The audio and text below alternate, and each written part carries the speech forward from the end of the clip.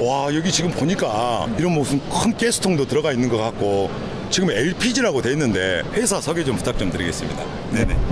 네, 안녕하세요. 어, 리벤시의 박일수 대표라고 합니다. 네. 이게 선액입니다. 지금 250마력 엔진을 갖고 있는데요. 이 선액은 일반 자동차처럼 어, 휘발유로 원래 갑니다. 휘발유로 가는 걸 LPG로 개조할 수 있는 것처럼 우리 선액이도 LPG로 갈 수 있도록 그렇게 개조가 되는 게 이제 저희 회사의 어, 어, LPG 네네. 개조 시스템입니다. 네네네. 간단하게 이제 구조를 설명을 한 건데 네. 요게 이제 휘발유가 여섯 개의 휘발유 엔진을 막 이렇게 휘발유를 쏴주는 겁니다. 그렇죠. 거기에 LPG가 갈 수 있도록 이렇게 시스템을 해갖고 아, 미국의 아, 블루가스 마린사하고 기술 제휴해가지고 이렇게 LPG로 갈 수 있도록 하는 그런 시스템을 저희가 개발을 했고요. 그래서 휘발유 원래 갔었던 거 이렇게 LPG가 공급할 수 있도록 이렇게 오. 연료가 이렇게 LPG로 갈 수 있고 저 안에 보이는 거는 빨간 거는 기존에 쓰는 그렇죠. 휘발유 휘발유 엔진. 휘발유 기름통이 네, 이렇게 네, 원래 들어가는 거를 네. 휘발유로도 갈 수도 있고 LPG로 갈 수 있고 요거 요 탱크는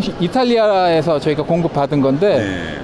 이탈리아에서는 이걸 찔찔찔 끌고 가고 LPG로 딱 바꿔가지고 네. 갈수 있도록 되어 있는데 우리나라에서도 이제는 네. LPG 연료로 선액이가 갈수 있도록 야. 이렇게 준비하고 있습니다. 전기가 배터리가 효율이 훨씬 좋아지고 가격이 맞습니다. 내려가기 전까지는 한 10년, 15년 정도는 네, 네. LPG로 충분하게 할 수 있지 않을까 그래서 빨리 여러분들한테 아, LPG로 갈수 있도록 하는 그런 게 빨리 됐으면 좋겠습니다. 아, 네. 꼭 그렇게 됐으면 좋을 것 같아요. 감사합니다. 고맙습니다.